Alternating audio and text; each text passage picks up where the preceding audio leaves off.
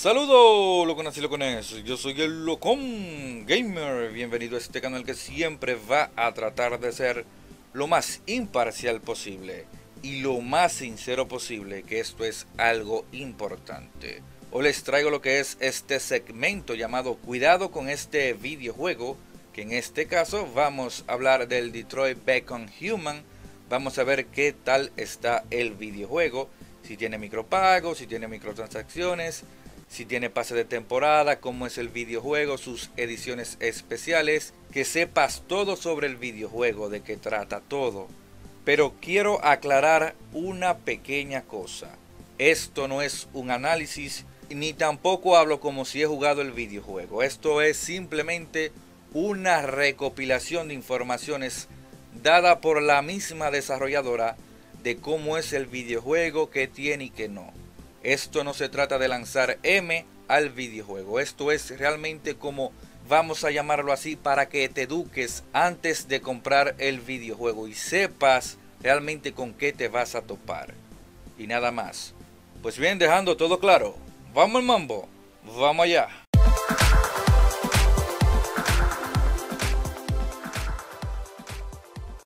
Muy bien, vamos a empezar con este cuidado con este videojuego que en este caso hablaremos del Detroit Become Human. Pues bien, este videojuego es desarrollado por Quantum Dream y David Cage a la cabeza. Es exclusivo de PlayStation 4.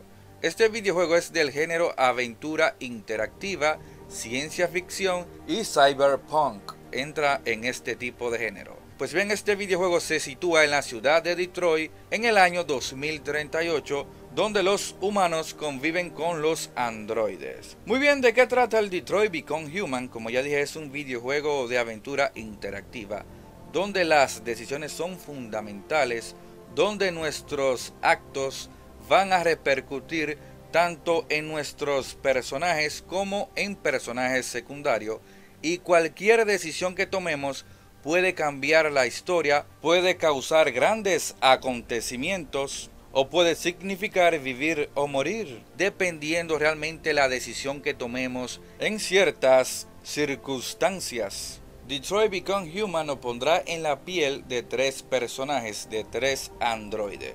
El primero es Connor, que es una especie de policía, donde la verdad tomaremos decisiones muy complicadas, donde debemos elegir entre la humanidad o los androides. Realmente esto se va a poner complicado para él, pero todo va a depender de tus decisiones. Nuestro segundo personaje es Cara y es un androide femenina que es como si fuera una especie de niñera que trata de proteger a una niña que realmente es maltratada por su padre y esto realmente se va a complicar porque tenemos que tomar decisiones que pueden perjudicar tanto al padre, la niña o a ella.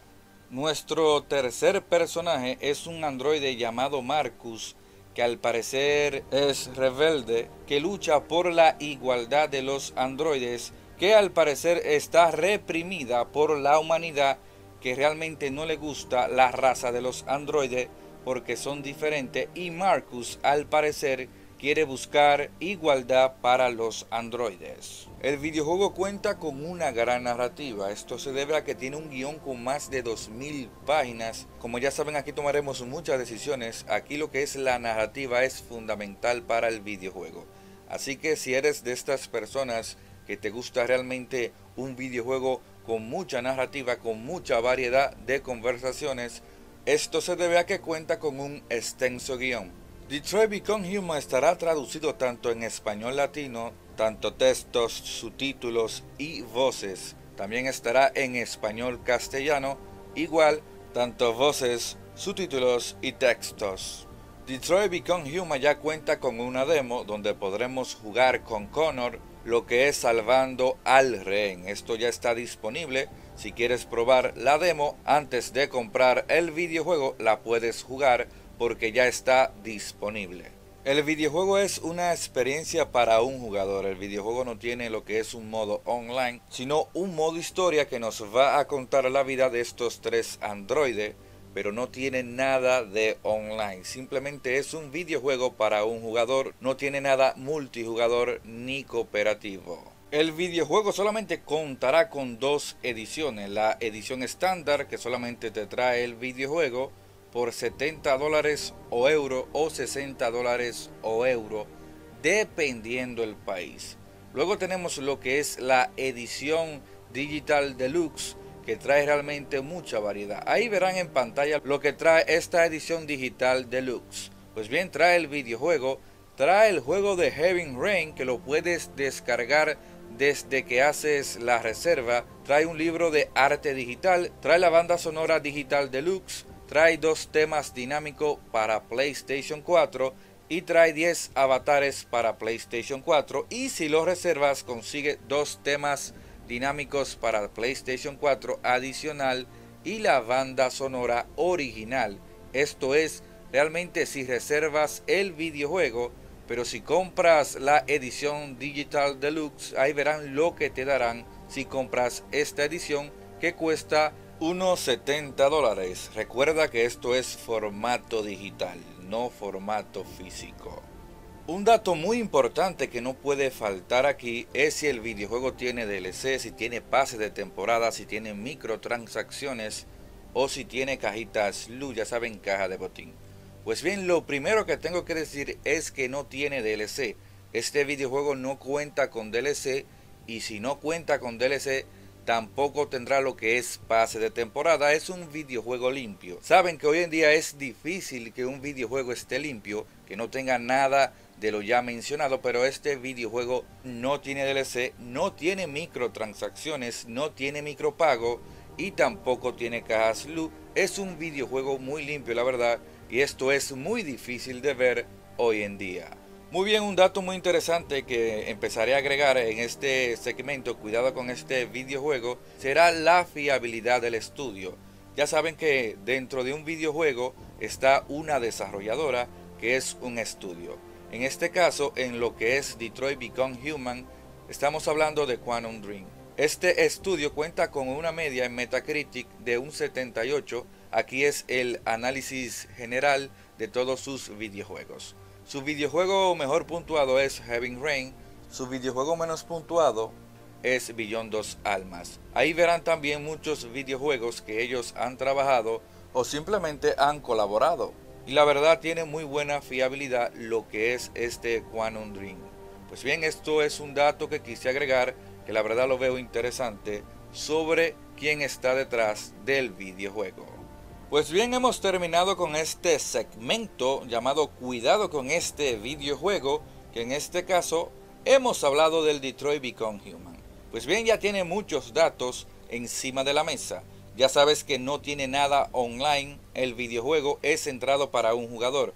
Ya sabes que no tiene micropago, microtransacciones, ni cajitas LU, ni DLC. El videojuego está limpio. También sabes que está traducido tanto los textos, subtítulos, voces en español latino y en español castellano. Detroit Become Human es un videojuego, la verdad, no para todo el mundo, pero si te gustan estas aventuras gráficas modernas, como yo lo llamo, si has jugado Monkey Island, si has jugado esas aventuras gráficas, puede que te guste lo que es el Detroit Become Human, ya que yo lo veo como aventuras gráficas pero modernas a estos tiempos. Ya sabe que la cosa va evolucionando y el género ha evolucionado a esto, a lo que es el Detroit Become Human, a lo que es Heaven Rain y a lo que es Beyond Dos Almas y hasta se podría decir Util Down, que la verdad es una especie de aventura gráfica moderna, como yo le llamo.